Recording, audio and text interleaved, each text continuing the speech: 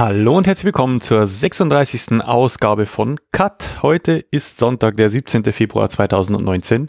Neben mir sitzt wie immer die bezaubernde Donja. Hallo. Und ich bin der Marco. Hallo. Ihr werdet es kaum glauben, aber wir waren im Kino. Ja. Ähm, böse Zungen würden behaupten, wir haben nur so lange gewartet, bis das Wetter wieder schön ist. Ja, dass wir uns wieder in dunklen Räumen verkriechen können. Genau, damit wir uns wieder von der, vor der Sonne verkriechen können. Und äh, demnach haben wir, ja, haben wir heute das Kino besucht. Und zwar erstmals eines in, in Passau gibt es ja mehrere. Mhm. Und ähm, ein, eines, das lange Zeit kein Kino mehr war, Ja. hat jetzt vor kurzem, ist ja auch gut gesagt, ich glaube vor etlichen Monaten schon, Ja, aber da, wir sind ja voll die Szenegänger, deswegen ist Ja, es einfach so an uns vorbeigerauscht. komplett vorbeigegangen. Nee, da hat ähm, das Poli wieder aufgemacht. Das Mhm. kommt übrigens von Promenadenlichtspiele. Ah, Und äh, das ist nur ein Kinosaal, aber der ist äh, hochmodern ausgestattet, Mhm. haben wir festgestellt. das Und ist der Wahnsinn, ja. Äh, waren da sehr, sehr angetan. Und ja, das ist äh, halt so ein kleines Café, wo man sich schön raussetzen kann und auch, äh, wo, wo die Leute quasi am, am Innufer entlang flanieren. Mhm. Äh, dementsprechend ging es dann auch zu, als wir rausgingen. Wir waren relativ zeitig schon drin. War eine gute Uhrzeit, halb eins. Mhm. Und ja, aber was haben wir uns denn angeguckt? Ach so, was wir uns angeschaut haben. Ja, und zwar Green Book. Green Book. Genau, und das ist ein Film von Das ist ein Film von Peter Farrelly. Farrelly, genau. Farrelly, genau, der jetzt, äh, das ist jetzt schon der zweite Film, habe ich jetzt gerade eben noch gelesen, den er ohne seinen Bruder gemacht hat. Ah, ja. weil ähm, vielleicht kennt ihr den Namen oder er kommt euch bekannt vor. Mir kam er dann auch bekannt vor und als ich dann gesehen habe, was er für Filme gemacht hat, da hat es mich dann schon etwas verwirrt, dass ähm, er jetzt so einen Film macht, also Green Book, weil das jetzt wirklich was völlig anderes ist. Also in der Vergangenheit hat er mit seinem Bruder halt zum Beispiel Dumm und Dümmer und ähm, Verrückt nach Mary. Verrückt nach Mary und Hat ähm, nicht auch Hell, äh, Shallow Hell, also dieser nach sieben äh, Tagen ausgeflittert. nee, mit der mit der Gwyneth Paltrow und Jack Black hat das, das haben doch auch die Farrellys gemacht, oder? Ja, das äh, mit dem, wo sie so, dick war ja. wie heißt der im, im Deutschen? Ich weiß nicht, wie er im Deutschen heißt. Aber ich weiß, was du meinst. Ja, Jetzt sind wir wieder. ja Jetzt lassen wir wieder. Shallow, Shallow Hell. heißt Shallow. Hell. Genau. ja, ähm, Dick aber verliebt? Nein, auch nicht. schwer verliebt. Schwer verliebt. Genau, verliebt. Dick und schwer. ja fast dasselbe. Ja, äh, wie gesagt, die, die Farrelly Brothers waren so in den 90ern eigentlich äh, daf schwer dafür bekannt, haha. ähm, eher so die derben Komödien. Mhm. So machen bei dem die ein oder andere lustige die dabei war. Dumm und Dümmer mochte ich damals sogar. Ja, schwer verliebt mochte ich auch. Ja, war auch lustig. Und nach sieben Tagen ausgeflittert, den habe ich sogar im Kino damals gesehen und äh, da habe ich mich schon fremd geschämt. Also teilweise, aber Umso gibt's, eine Szene gibt's mit dem Esel, die ist ganz schlimm. die habe ich nicht gesehen. nee, es muss, muss man auch nicht. Also, aber umso verwunderlicher ist es ja, dass äh, sich zumindest einer der beiden jetzt einem äh, nicht ganz humorbefreiten, aber doch eher ernsten äh, Genre zugewandt hat, nämlich Ja. halt eine Tragikomödie. Und äh, Golden Globe nominiert. Also und ge- gewonnen, gewonnen. Gewonnen, sogar Genau. Mhm. Golden Globe äh, gewonnen hat. Äh, ich glaube, Film, bester Hau- Film. Hauptdarsteller, Mortensen. Nebendarsteller. Ja. Aber bevor wir jetzt Genau. Hier ähm, kreuz und quer Namen durch die Gegend werfen, äh, würde ich sagen, ähm, Soll ich Ja, mal loslesen? Los, loslegen wir den Fakten. Genau, loslesen. los, les, lies mal los. Ich lese mal los. Und zwar, ähm, der Film ist aus, wir haben jetzt 2019, er ist aber aus 2018, also Produktionsjahr. Er geht, äh, sage und schreibe, zwei Stunden und zehn Minuten, die man, finde ich, überhaupt nicht merkt. Mhm. Also das geht locker von mit einer Arschhälfte weg. Ja. Kannst du den Ja, absitzen? das konnten sogar unsere, unsere Blasen aushalten. Wieso? Wir haben, wir haben schon gut trainierte. Ja. Nur nachts werden sie immer wach. Unsere Blasen. ja, we're getting old. Ja, genau. Und ähm, er hat die FSK 6 und auf IMDb ein, äh, eine Bewertung von 8,3 und ein Metascore von 69. Und ähm, von der Kategorie ist er Biografie, Comedy, Drama, Music. Also eine Dramedy, Eine Dramödie. eine, genau, eine musikalische Dramödie. Ja. Genau. Also kein Musical. Nein, Nein. also es es ist wird gesungen. Es kommt, kommt Musik drin vor, deswegen hat äh, auch den Golden Globe für ähm, Best ähm, Musical Nein. Comedy gewonnen, oder? Nein, nicht wegen dem. Weil er ist, er ist ja wirklich mehr, Ja, die, die Golden Globe Kategorien habe ich noch nie verstanden. ja, Manchmal passt manchmal passt nicht. Äh, da ist jetzt ein bisschen komisch, aber Hauptsache hat gewonnen. Ja. Weil zum Glück gibt's ja diese Zweifach-Nominierung, also oder Kategorien, dass da auch dann Filme dann zum Beispiel gewinnen, wo vielleicht dann untergegangen wären Mhm. oder vielleicht dann nicht gewonnen hätten. Und so ist es immer ganz gut, dass es aufgeteilt wird in Komödie und Drama. Ja. Genau, in dem Falle ist jetzt dann der Film mehr. Wahrscheinlich wegen dem Regisseur haben sie gedacht, oh mein Gott, Der ist ein, das ist eine Ja. Komödie. der ist lustig. Genau. Deswegen. Und äh, wie schon erwähnt, äh, Regie führt Peter Farrelly. Und wie auch schon erwähnt, Dumm und Dümmer, alles erlaubt, nach sieben Tagen ausgeflittert, schwer verliebt. Hä, das steht sogar. Mhm. Verrückt nach Mary. äh, Drehbuch, ähm, auch wieder Peter Farrelly, der Brian Hayes. Mhm. Und äh, jetzt kommt's, der Nick Vallelonga. Und da haben wir jetzt extra nochmal nachgeschaut. Mhm. Und zwar, das ist, sag du es nochmal. Das ist der, der Sohn vom äh, Tony Lip, Genau. der ähm, Haupt, also die Hauptfigur des Mhm. Films, ähm, der auch mit, ähm, nein, produziert hat er nicht. Nee, der ist schon gestorben. Ähm, aber der ähm, quasi, also der Nick ähm, Vallelonga ist der Sohn des, äh, der Hauptfigur des Films und hat mit am Drehbuch äh, geschrieben, genau. sozusagen. Und äh, dann habe ich noch ein bisschen nach Musik äh, geschaut. Der hat mir jetzt gar nichts gesagt und ich fand's ähm, ja dafür, dass der Film ja auch um einen Musiker geht, ge ist, find, fand ich jetzt auch die Musik etwas, ähm, die kam etwas so ein Ja, das war ein Beiwerk. bei wirklich Beiwerk, aber war so Beiwerk, dass das man, man dass man es manchmal gar nicht fest äh, so wahrgenommen Es hat. ist jetzt kein Musikfilm, wo man irgendwelche dramatischen, toll inszenierten Auftritte sieht, sondern man sieht eigentlich immer nur die letzten Takte. Ja, der aber so der Auftritte. Score meinte ich jetzt. Ach so, der Score. Ja, der war sehr beiläufig. Ja, und schon unscheinbar. gehört. Ja, fand ich eigentlich schade, weil es gab dann wirklich so ein paar Momente. Mhm. Aber Naja, von wem ist mehr. der? Ähm, habe ich gar nicht aufgeschrieben, Ach so. weil Und kennt man nicht. kennt man auch gar nicht. Okay. Und Kamera, das war dann, wo ich gedacht habe, okay, könnte man mal notieren. Das ist der äh, Sean Porter.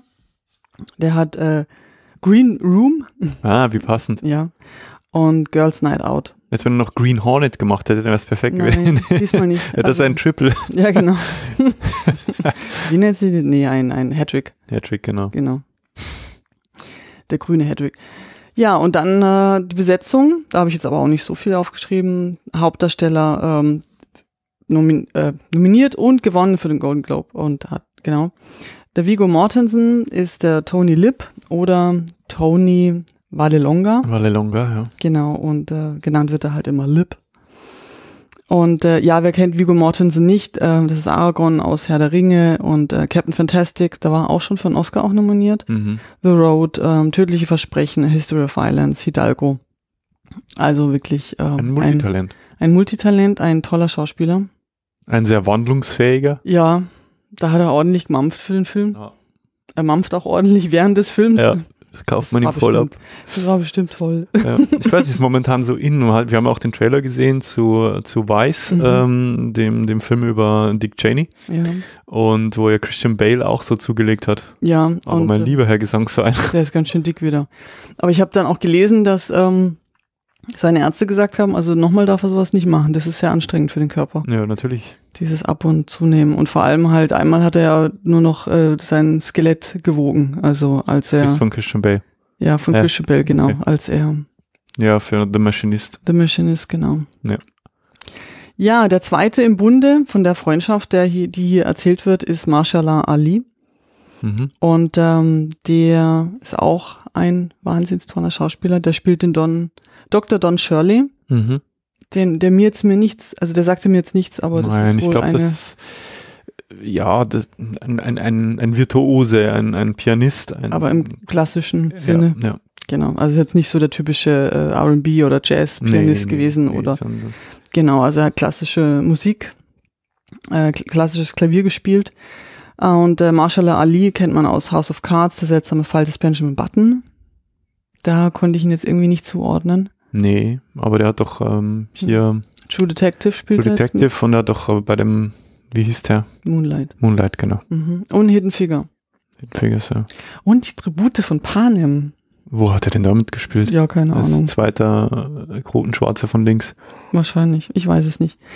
Ja, und dann habe ich noch äh, die Frau von Tony, äh, von Tony Lip. Das äh, wird gespielt, äh, die Dolores wird gespielt von Linda Cardell, Cardellini. Mhm. Cardellini. Mhm. Kannte ich nicht. Also doch, äh, vom Gesicht her kannte ich sie. Genau, aber- und zwar hat sie schon mal eine Ehefrau gespielt, und zwar in, jetzt bin ich mal gespannt, welchen, welchen Mann, und zwar in Avengers, Age of Ultron.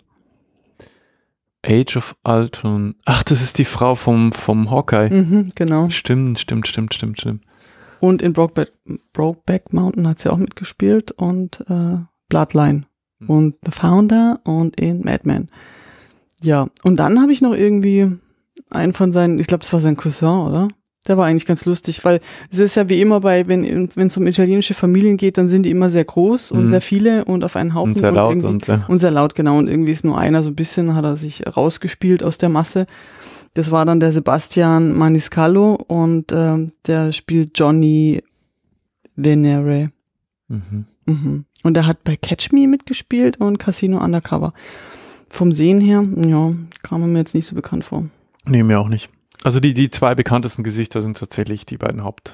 Ja, und mehr habe ich jetzt eigentlich noch nicht aufgeschrieben. Was Also auch, es ist auch, ich, ja, es ist äh, ansonsten auch eine sehr, ich, ich, ich sag's ja häufiger, äh, eine angenehme, unverbrauchte Darstellerriege. mhm. Es ist ja auch gut, wenn, wenn nicht bis in die letzte Nebenrolle irgendwelche Stars zu sehen sind. Ja. Ich meine, die zwei, die äh, Hauptrollen spielen, die tragen das Ganze schon, also die können das locker schultern, überhaupt kein Problem. Und es wäre auch kein Raum, glaube ich, für, für die anderen Figuren. Das ist gar nicht da. Ja gut, dann ähm, lese ich mal den Pressetext vor, damit ihr wisst, um was geht. Der begnadete Pianist Dr. Don Shirley geht 1962 auf eine Konzerttournee von New York bis in die Südstaaten. Sein Fahrer ist der Italo-Amerikaner Tony Lipp, ein einfacher Mann aus der Arbeiterklasse, der seinen Lebensunterhalt mit Gelegenheitsjobs und als Türsteher verdient. Der Gegensatz zwischen den beiden könnte nicht größer sein. Dennoch entwickelt sich eine enge Freundschaft.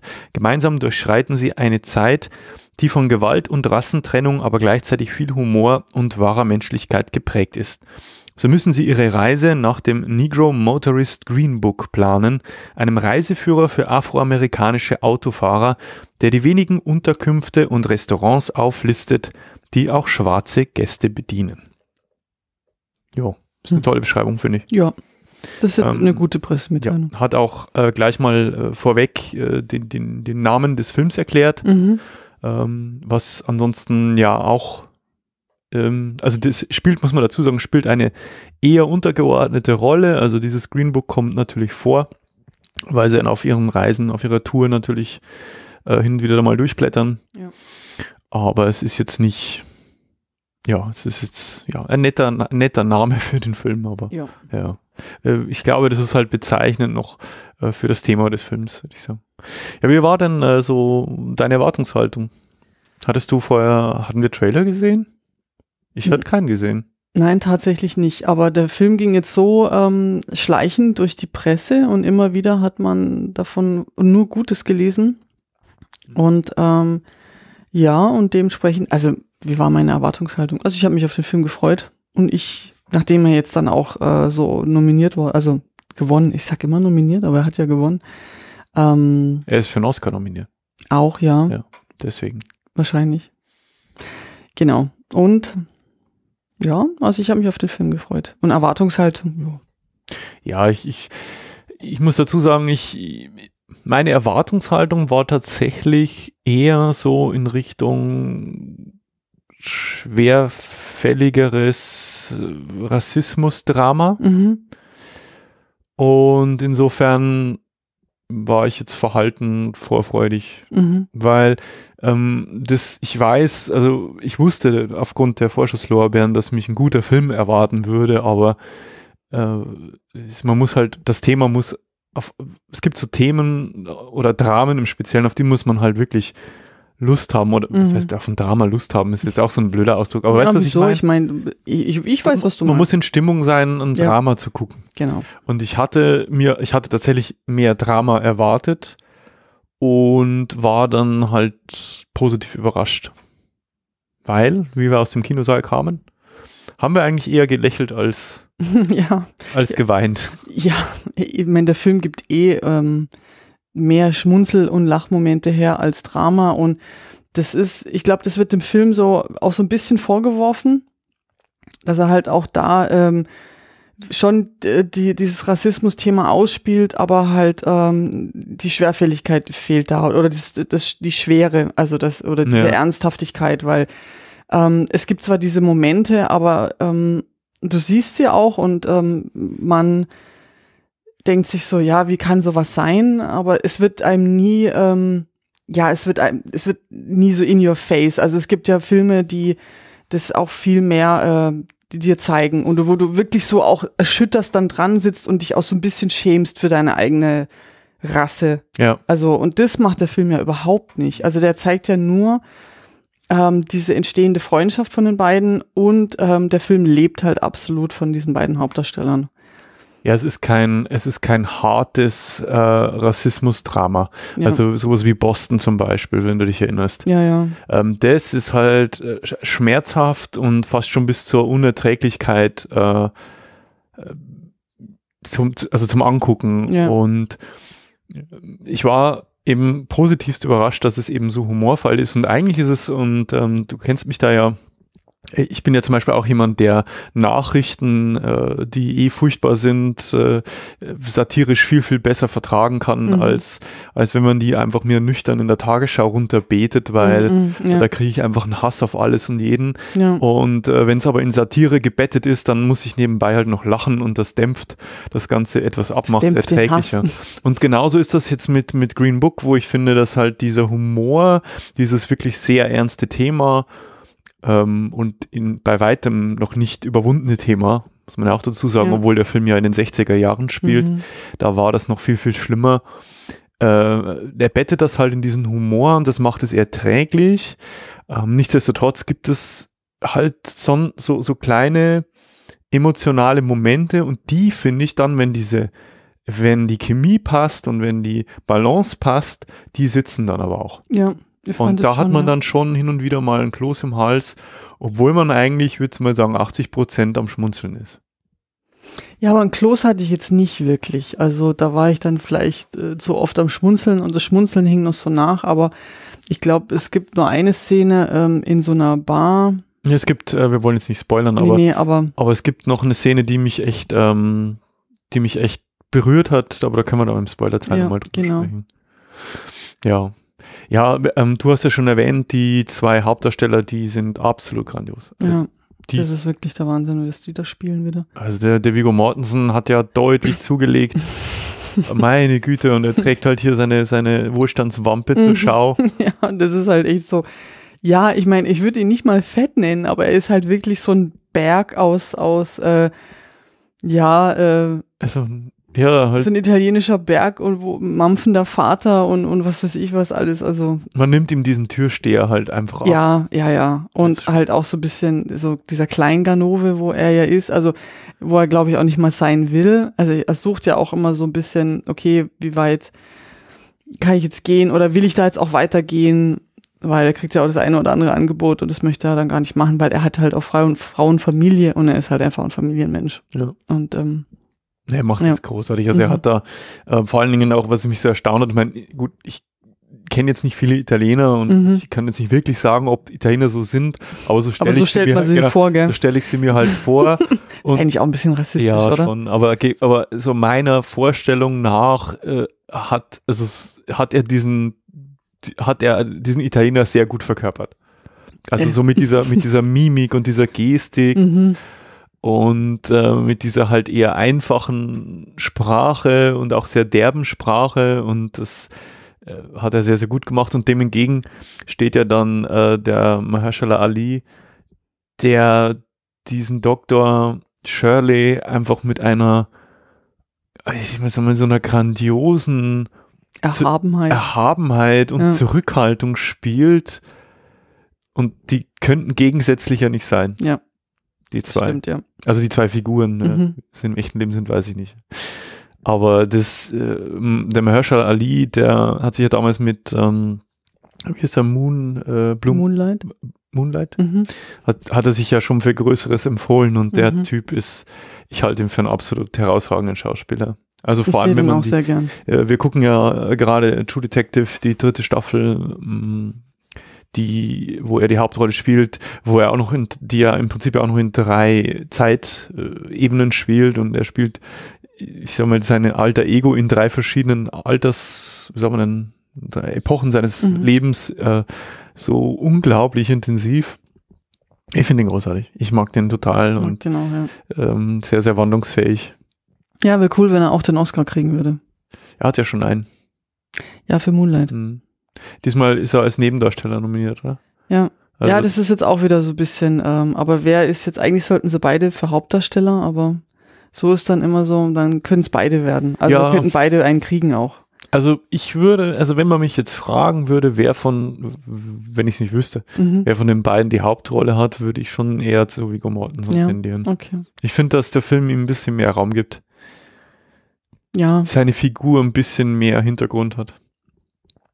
Was aber gut passt, finde ich, weil äh, jetzt so diese, diese Unnahbarkeit, die, die quasi der Dr. Shirley da zur Schau trägt, Mhm. einfach sehr, sehr gut passt. Und je mehr man jetzt da über sein Leben und seine Tragik und, und Dinge gewusst hätte, umso nahbarer wäre er geworden. Mhm. Und so fühlt man dem nach, also quasi, dass sie sich halt erstmal so weit voneinander entfernt sind und sich dann doch irgendwie annähern, weil sie merken, wir sind beides nur Menschen.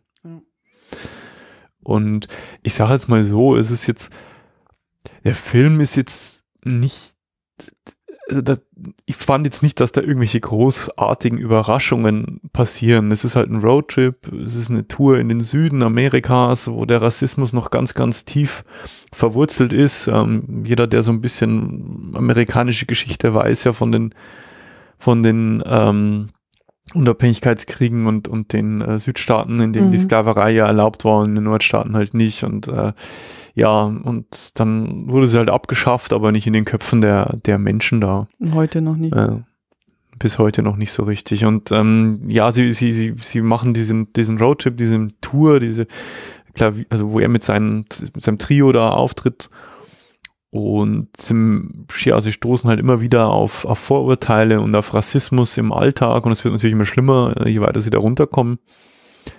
Aber es ist jetzt nicht so, dass, dass irgendwelche großartigen, wirklich dramatischen Ereignisse stattfinden würden. Sondern so vom Erzähltempo plätschert der Film eigentlich angenehm vor sich hin. Ja, aber so, ähm, so unlangweilig lang. Ja, so, so leicht. So, so leicht, ja. Mhm. Also es ist wirklich, so, so wie du gesagt hast, also ja, ähm, der Film haut einem jetzt nicht vom Hocker, aber das will er auch gar nicht. Der will jetzt einfach nur diese Geschichte erzählen und das macht er halt wirklich auf eine sehr ähm, ruhige und, und ähm, Leichtfüßige. leicht, ja, leichtfüßige Weise und es ist halt einfach schön, dass äh, die zwei Männer da zu beobachten, wie sie halt da zueinander finden, weil ähm, der Tony Lip ist ja ähm, am Anfang auch, also ein, Eher rassistisch. ein sehr, ein, ein Rassist, ja, ja. ist er. Und ähm, das hat ihn dann auch erstmal Überwindung gekostet, aber was macht man nicht alles für Geld? ja, genau. Dann ähm, fährt er ihn jetzt halt da für Geld durch die Gegend und dann lernen sie sich halt kennen und ja. Ja, und es entsteht äh, tatsächlich eine Freundschaft, ja. Und das, ja, es ist so dieser, dieser Annäherungsprozess äh, zwischen den beiden. Es ist einfach eine, eine, eine Augenweide, dem, den beiden zuzusehen, weil das sind einfach großartige Schauspieler, denen man auch noch ein anständiges Drehbuch gegeben hat. Mhm. Ähm, die Dialoge sind toll. Ja. Und ähm, ja, es kommt halt, äh, es kommen auch Szenen ohne viele Worte aus und das finde ich halt so großartig. Und das, ich finde halt auch, dass natürlich, äh, das, der Film thematisiert das auch, dass Rassismus ja halt nicht nur in eine Richtung schwingt, ja, sondern natürlich auch ähm, der Dr. Shirley Vorurteile ihm gegenüber hat und Mhm. dass Vorurteile halt nicht sind, was jetzt äh, nur Weiße Schwarzen gegenüber haben, Ja. sondern dass das halt äh, weit verbreitet ist und insofern müssen sich beide Männer da mal so über ihren Schatten springen und ja, weil sie jetzt schon auf Gedeih und Verderb äh, zusammen in diesem Auto festsitzen. Ja, vor allem halt, wie äh, der Dr. Shirley dann halt auch von seiner eigenen, äh, von seinen eigenen Leuten halt wahrgenommen wird. Das wird ja dann auch noch gezeigt. Ja, ja, weil das, er ist ja im Prinzip, ist er halt so ein Alien, ne? Also Mhm. er ist halt ein, ein erfolgreicher Pianist, ein schwarzer, erfolgreicher Pianist, der sich von einem Weißen kutschieren lässt, Mhm. Der jetzt in, in den Süden fährt, wo die Rollen halt noch eher klassisch Ja. umgedreht sind. Das sieht man dann ja auch. Und es gibt so Szenen, die, die halt schon hervorheben, dass er so im Prinzip halt zwischen zwei Welten lebt, als, als Person, ja. Ja. Mit dem er ja auch nicht immer glücklich ist.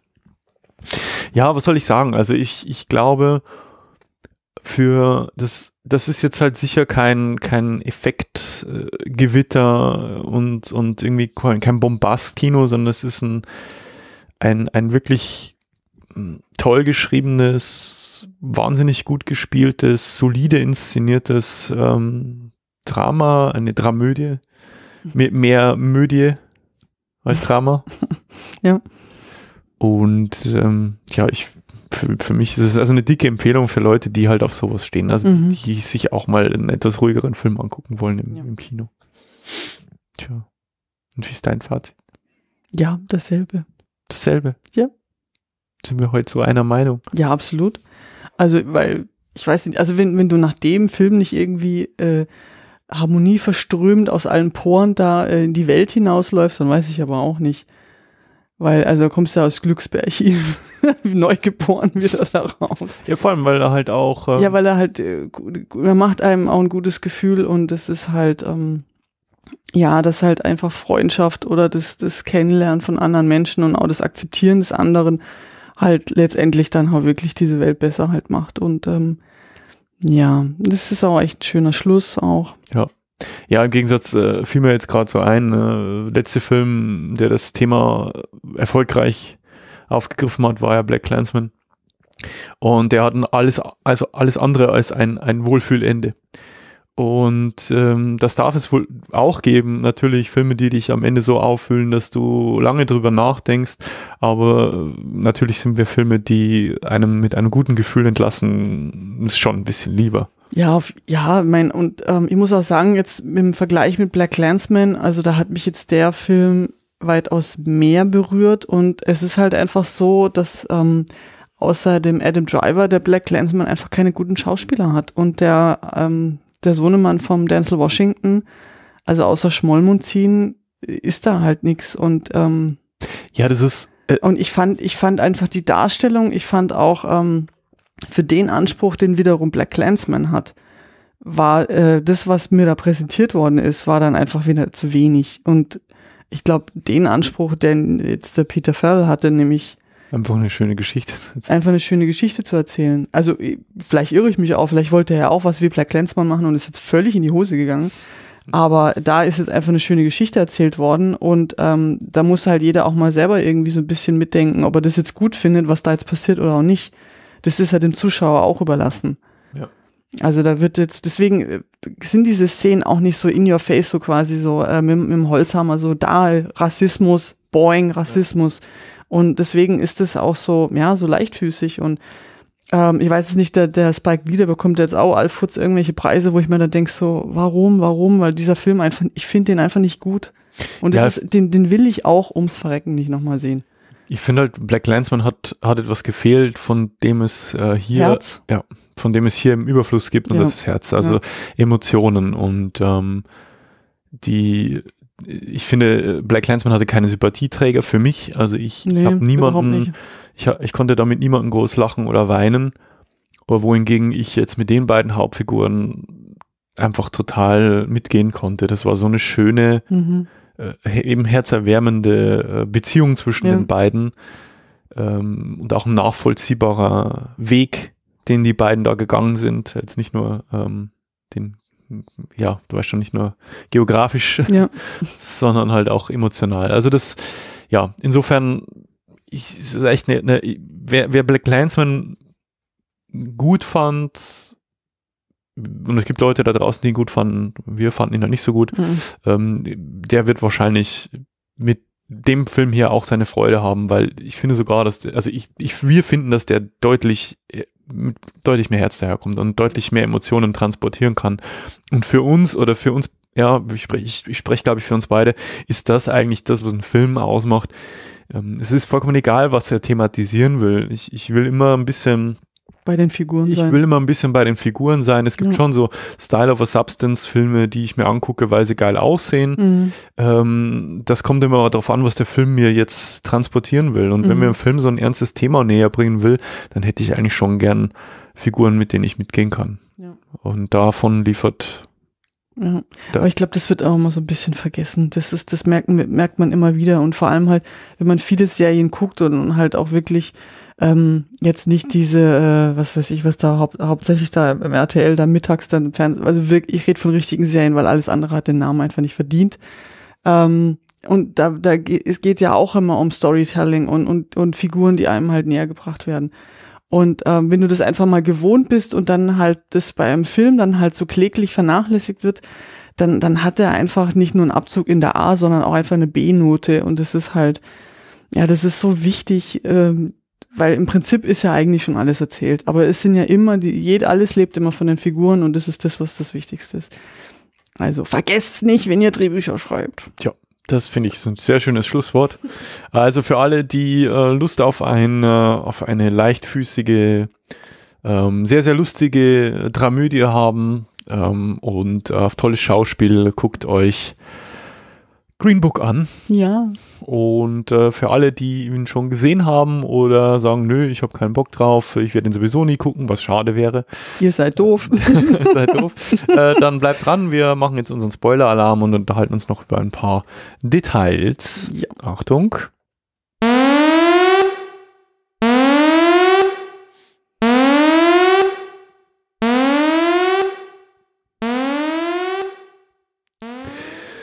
Ja, ähm, gab es denn irgendwelche Szenen, die dir ganz besonders gut gefallen haben, die dich, ähm, du hast eine angesprochen, äh, in, de, in dieser Bar hattest du vom Spoiler-Teil? Äh, ja, aber das war jetzt nicht die, wo mir besonders gut gefallen hat, das war glaube ich die, wo mich, ähm, ja, also den, das ist, da siehst du wirklich den Ernst der Lage, weil er halt einfach, äh, der äh, Dr. Shirley äh, hat halt in seiner schwarzen Unterkunft, äh, hat er halt irgendwie noch Lust, irgendwie noch mal was zu trinken und die geht halt in eine Bar und da sind dann halt nur Weiße und die benutzen ihn halt quasi wie so eine Strohpuppe und ähm, machen halt mit ihm, ja.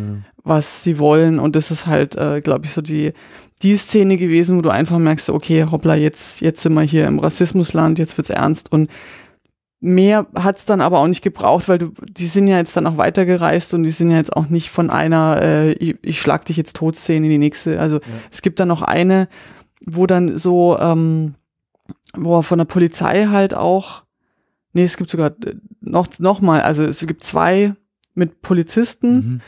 und ähm, wo sie ihn dann einsperren. Wo sie ihn einsperren und dann, wo sie ihn dann auch festhalten in diesem Bad, wo er dann, wo dann irgendwie so ein bisschen angedeutet wird. Angedeutet wird, dass er homosexuell ist. Mhm. Was dann aber auch irgendwie gar kein Thema mehr ist, aber ja, ist ja auch, ist ja auch, fand ich jetzt nicht schlimm, weil das ist jetzt, glaube ich, nicht sein Hauptproblem, dass er homosexuell ist es ist ja, dass er schwarz ist. Ja. Aber was, was denkst du, war das, also weil ich mir immer so gedacht habe, äh, der kommt ja aus dem Norden und mhm. der Norden ist da sehr liberal mhm. und ähm, war das Naivität oder war das Provokation, was er da gemacht hat? Mhm. Vielleicht so ein Stück aus beidem oder Stolz oder oder oder weil das, also es ist ja schon leichtsinnig, was er zum Teil macht. Ja, also wenn er halt sagt, er geht jetzt in eine Bar, war er da einfach schon zu betrunken oder? Ja, es kann auch sein, aber vielleicht ist es einfach so dieses, ähm, ja, wahrscheinlich wird mir das hier passieren, also muss es auch passieren. Aber so, ist das so sein Stolz oder oder ja. warum macht er? Also ich habe manchmal nicht so ganz verstanden. Äh, weil er also so bewusst in diese Situation ja, ob das, dann auch. Ob das halt, ob das gerade jetzt bei der, bei dieser Bargeschichte, ob das jetzt einfach, war es Naivität, war es Trotz, war es Stolz? Äh, er hat sich ja offensichtlich in, unter seinesgleichen in diesem Motel nicht wohlgefühlt. Ja, weil die halt, da ging es jetzt nicht mal um die Hautfarbe, das war halt einfach, das waren, ja. ja. waren halt einfache Menschen und er ist halt ein äh, hochgebildeter ein hochgebildetes Genie, der hat äh, ist Doktor der Psychologie, Doktor der Musik und was der Geier was und der hat sich da halt einfach, der wollte halt jetzt da nicht die, ähm, was haben die da gespielt mit den ähm, ja, mit den Hufeisen. Hufeisen, ja. genau. Das, das hat er jetzt halt einfach keinen Bock drauf gehabt und hat gesagt, okay, da muss ich jetzt weg. Ähm, ja, ich glaube, da hat so ein bisschen der Alkohol mitgespielt und manchmal hat er, vielleicht hat er das einfach so ein bisschen als Kick gebraucht. Weil jetzt da mit dem einen äh, in dem Bad dann festgenommen zu werden und ich meine, das wird auch nur so ein bisschen, ja, es wird eigentlich gar nicht viel erzählt. Er ist irgendwie so ein öffentliches Sauna. Ja, und da Wellness, ist wohl irgendwie erwischt worden. Ja, was er mit, mit einem rumgemacht hat. Ne? Oder auch nicht, weil es wird darüber gar nicht mehr gesprochen. Ja, ich, ja, gut, ja. Ist, ich glaube schon. Also das okay. von den Andeutungen her, weil doch der Viggo Mortensen dann auch zu ihm sagt, ja, ja, er ist ja schon seit längerem in, in, den, in den Clubs äh, tätig und er weiß, dass das sonderbar, also ich, mhm. sonderbare Dinge passieren. Also er, er hat es halt mit Humor genommen, ihm war es egal, ihm war es tatsächlich ja, egal. ihm war es wirklich egal, ja. Ja. Also der, Mich hat es überhaupt gar nicht thematisiert. ja, genau. Ja. Ja, ich weiß nicht, warum er das immer gemacht hat. Also vielleicht wirklich Leichtsinn. Ja, und er ist halt auch ähm, ein zutiefst einsamer Mensch. Ja. Und das, das war übrigens meine meine Lieblingsszene, die, wo sie aus dem Auto ausstiegen. Mhm. Ähm, wo, Ganz zum Schluss. ja, wo sie sich halt, wo so ein Streit entbrennt, weil ähm, der ähm, Tony Lip halt behauptet, er wäre schwärzer als er, Mhm. als der, der ähm, Doc, weil ähm, er halt auch keine schwarzen Musiker kennt und Mhm. Ähm, und daraufhin steigt er halt aus und dann, dann, dann hat er so einen Emotionsausbruch, wo er halt dann sagt, naja, ich bin weder Fisch noch Fleisch. Ja, ja, stimmt. Das war Und, ähm, das, und das, ich er ist kein Schwarzer und er ist kein Weißer und, und was ist er dann, ne? Mhm. Ja.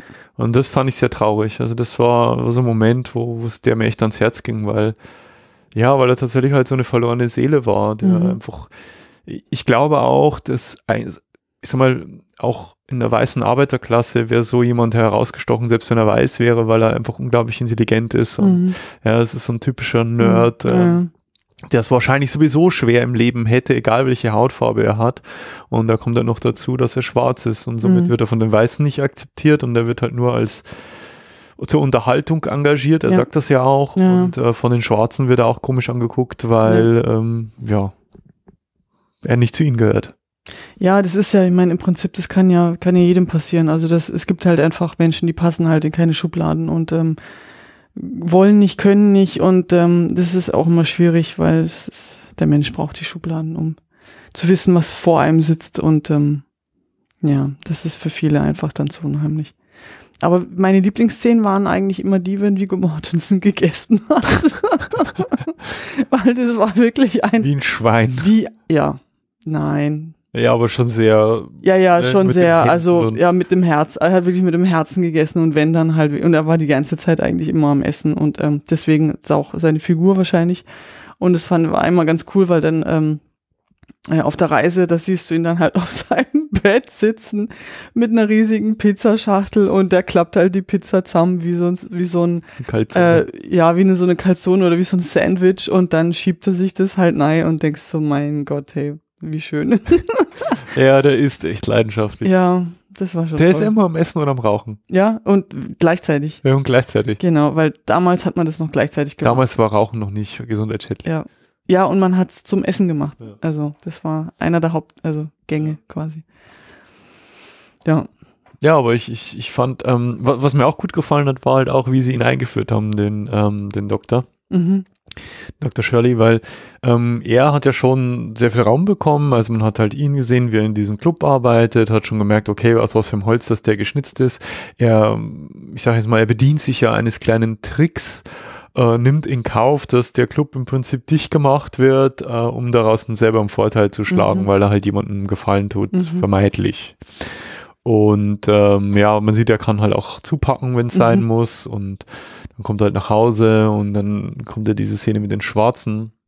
Also er wird schon ziemlich gut charakterisiert. Mhm. Und dann trifft man, so wie er auch, vollkommen überraschend auf diese schillernde, Mhm. vollkommen nicht von dieser Welt Ja, ja. Figur, die halt tatsächlich mit irgendwie so afrikanischem Ja. Gewand auf so einem komischen Holzthron mit Elefantenzähnen.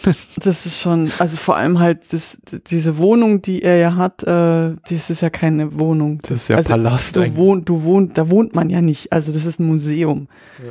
Weil ja auch, äh, das ist ja vollgestellt mit irgendwelchen Vasen und, und, und Schätzen und und es ist dann halt auch, ähm, das, was man am Anfang sieht, ist dann halt auch gegen Ende und dann steht er ja auch mit ähm, in seiner Wohnung nach der Reise und ich glaube, das muss ich, und das habe ich irgendwie auch ein bisschen gespürt, das hat sich sehr kalt angespürt. Sehr einsam, Also, sehr einsam, das Ganze und deswegen.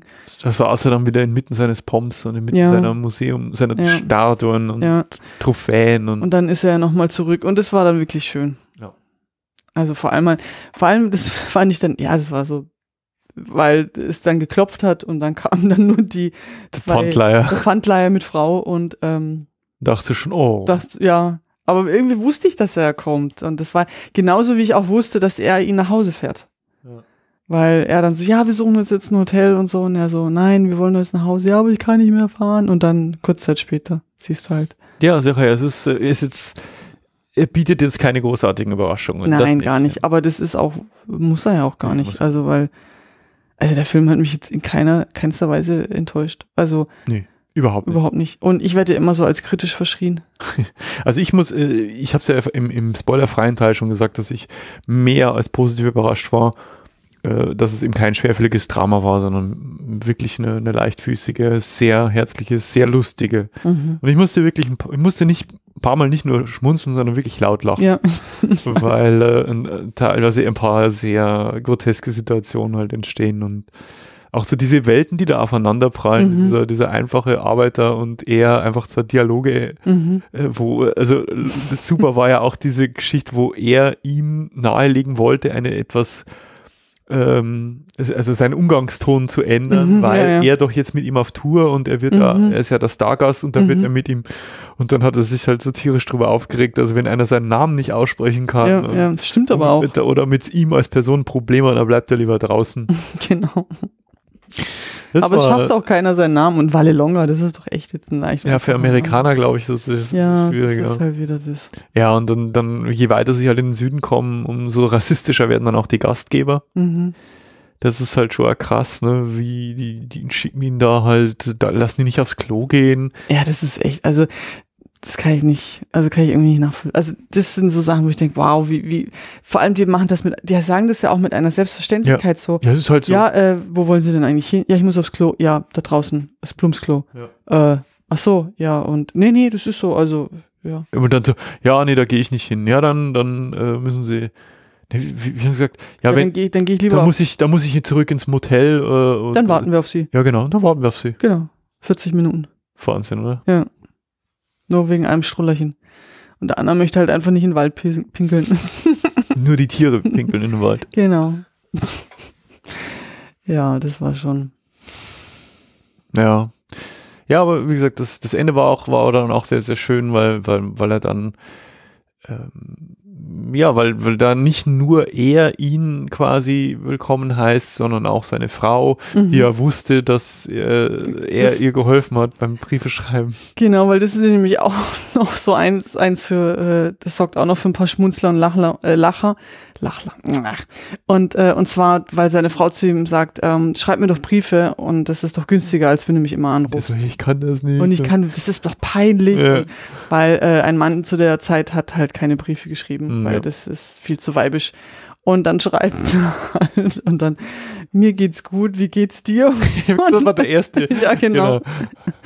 Und es war halt einfach so, sehr so einfach geschrieben, wie so ein Fünfjähriger. Ja. Und ja, und er hilft ihm dann halt, nachdem er dann weiß, was er ihm, was er da immer schreibt, weil er hat dann gemeint, so ja, der Brief sieht eher aus wie ein Erpresserbrief als wie ein Liebesbrief, weil er halt andauernd irgendwas durchstreicht. Ja. Und dann hilft er ihm halt beim Briefschreiben und dann ist es halt echt immer so voll das Highlight, weil dann die ganzen Frauen aus der Nachbarschaft natürlich dann auch immer die Briefe wollen, wollen sie dann hören und sind dann total begeistert, weil das so romantisch ist. Mhm. Und ähm, ja, und ich glaube, ab da entsteht die Freundschaft, ab dem Moment, wo er ihnen hilft bei dem Briefeschreiben. Ja. Ja, und das sind halt immer wieder so kleine Szenen, wo sie halt während der Autofahrt oder so, wo sie sich halt austauschen und wo sie halt einander besser kennenlernen. Also auch Ja, die Szene mit diesem Kentucky Fried Chicken, Ja, das ja, war ja genau, auch so ein war auch gut, ja. Aber austauschen ist ja eigentlich, weil das fand ich dann auch lustig, weil der, äh, der Tony halt äh, in einer Tour labert, Ja. also den kannst du gar nicht abstellen und er dann sagt, ähm, ja, können wir jetzt etwas Ruhe einkehren lassen? Ja, Und dann ist ja lustig, dass sie es erwähnen. Meine Frau sagt auch immer, ich soll Ruhe einkehren und oder wie irgendwie. ja, ja, und labert halt und labert. und, und erzählt und erzählt weiter und das ist halt nicht mal im Ansatz das, was er eigentlich wollte, weil er wollte jetzt einfach mal seine Ruhe haben. Und ähm, das ist so großartig. ja, war wirklich schön. Ja. Ja, dann glaube ich, sind wir, sind wir durch. Kurz, Ja, kurz, kurz und bündig. Ich wüsste jetzt nicht, was ich über diesen Film noch großartig sagen sollte, außer dass er mir halt einfach wahnsinnig gut gefallen hat. Ja. Dass ich froh bin, dass du mich überredet hast, wieder ins Kino zu gehen. Ja. Und, Ich weiß auch schon den nächsten Film. äh, Ja, Ich glaube, der läuft schon, der läuft ja, ja glaube ich, nächste Woche Sind an. wir schon bei uns im Ausblick. Ach so, ja, genau. Ja, Ach so, du musst ja schnell. Ja, ja, habe ich Genau, hast du schon. Ah, ich würde gern Weiß sehen. schon. Ja, weiß würde ich auch gern sehen. Läuft ja Weil- schon. Ich glaube, nächste Woche läuft Ja, aber er. nächsten Sonntag haben wir schon was vor. Dann schauen wir den eine Woche später. Ja. Und zwar, weil das halt einfach, äh, genau, weil der läuft am 21. Februar an. Weil wir haben jetzt da wieder den Trailer gesehen und ähm, Der, der macht uns ziemlich an. ja, also Der- vor allem Sam Rockwell als George Bush. Ja, ja, Oh mein Gott. voll geil. Also voll geil. Sam, und Sam Rockwell hat sowieso einen Stein im Brett, haha. ja. ähm, der, der ist großartig. Ich liebe diesen Mann. Also er ist ein großartiger Schauspieler. ja. Und er hat sich in den, in den letzten Jahrzehnten einfach unglaublich gewandelt und, und ist so, so, so zu so einem Ich großartigen Schauspieler gemutiert. Ja, der ist, Ja. der ist super. Ja, ja. Total. Ich mag den auch. Ja, und halt äh, Christian Bale als ähm, Dick Cheney. Ja. Und das ist, Ja. ich glaube, Steve Carell spielt auch wieder mit. Ja, und ich meine, das ist auch von denselben Leuten, wo The Big Als Short Rumsfeld. gemacht haben. Ja, als Rumsfeld. Die äh, The Big Short gemacht haben Ja. und das war schon ein großartiger Die äh, Adams spielt Ensemble. auch wieder mit. Mhm. Nee, doch. Doch, Ja. als seine Frau. Ja. Großartig. Wir freuen uns drauf. Ja. Äh, das wird wahrscheinlich unser nächster Kinobesuch, aber wir versprechen nichts. Doch. Was? Doch. Nein, wir versprechen nichts mehr. Nein, wir sagen, wir doch. wollen, Oh. oh. wir wollen äh, wahrscheinlich diesen Film gucken.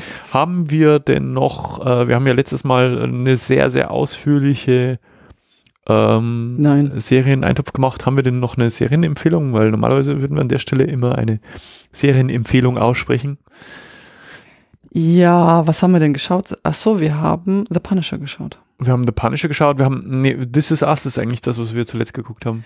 Das stimmt, ja. Aber die haben wir ja schon so oft empfohlen, ja, äh, jetzt auf Amazon Ja. äh, Prime zu haben, die Zweite zweite Staffel Staffel. von This Is Us. Das oh ist eine, eine, eine Serie, die uns regelmäßig zum Taschentuch greifen lässt. Ja, weil es einfach, also das ist wirklich äh, Dramödie auf, auf höchster. Wunderbar. Also höchster eine Ebene. wundervolle, wundervolle, herzerwärmende, traurige, bittersüße Serie. Ja, und ähm, oh mein Gott, ich habe in einer Folge, ich glaube, ich habe da nur- Durchgeholt. nur durchgeheult. Also ja, und es ist, ähm, ja, ich darf nicht so viel Nee. sagen. Nee, es ist eine ganz, also glaubt Ist uns, dass wirklich, äh, wenn, wenn, äh, wenn ihr, ja, also wenn ihr jetzt irgendwelche eiskalten Eisblöcke seid, die keine Emotionen haben, dann ist Dann es nichts müsst ihr für euch. erst recht anschauen.